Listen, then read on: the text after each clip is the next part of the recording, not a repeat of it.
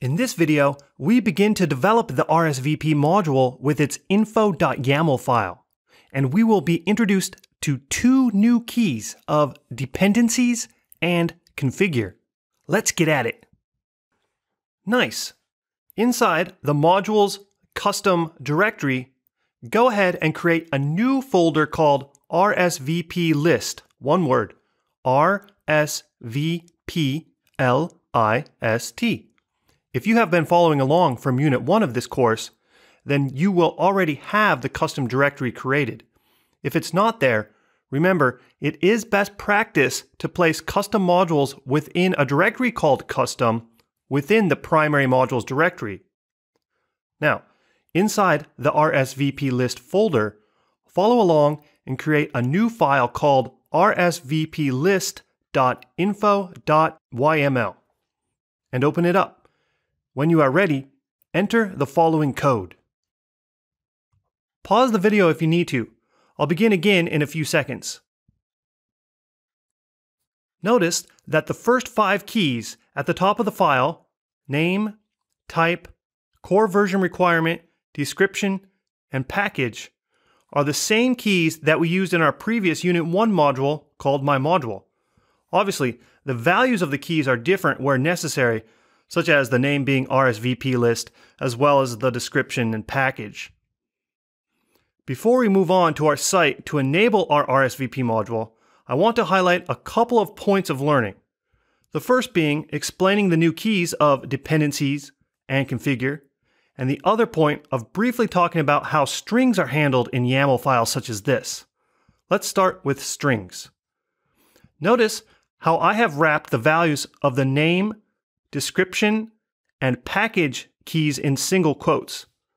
Now, technically in YAML, strings are known as plain scalars, and unless the string begins with, or in rare cases contains, a special character, you do not need to use quotes with strings. Okay, although I originally displayed the code with single quotes, and I also prompted you to enter the code with single quotes, at this time I'm going to change the code for demonstration purposes. You can remove the single quotes like me if you wish, but you do not need to. After removing all the single quotes from this file,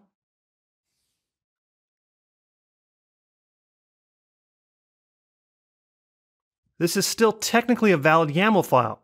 It is valid because none of the strings begin with YAML special characters.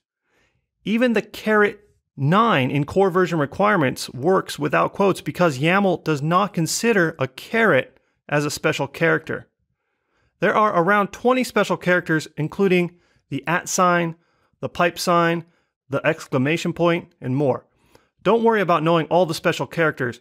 I'll provide resource links at the end of this video if you're curious. Just make sure when you are creating your info.yaml files, do not start a line with a special character. And if any of the strings do contain a special character, it is best to wrap them within quotation marks. As an example of what not to do, if I were to begin the description with an at sign, this would break Drupal. Do not do this. If I wanted to begin with an at sign, I would wrap it in quotes. This would work. All right, Let's revert the code and move on to understanding the newly added keys of dependencies and configure. The dependencies key is a list of other modules your module depends on.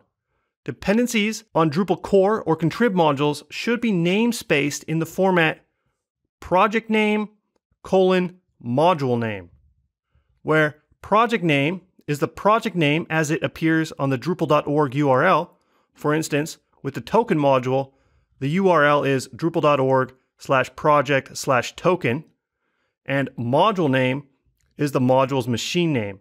So, for example, if our module depended upon the token module, we would type on another line dash space token colon token.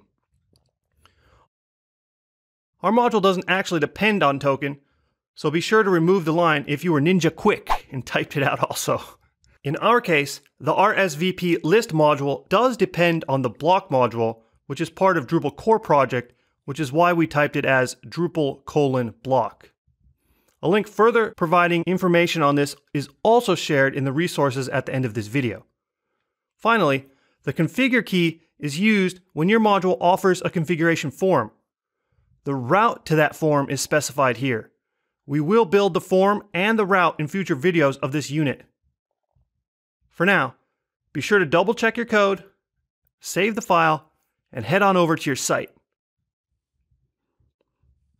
Great work! So traditionally, I've made a habit of flushing the cache after every code change. Now, the only exception to that rule is when you are enabling a module.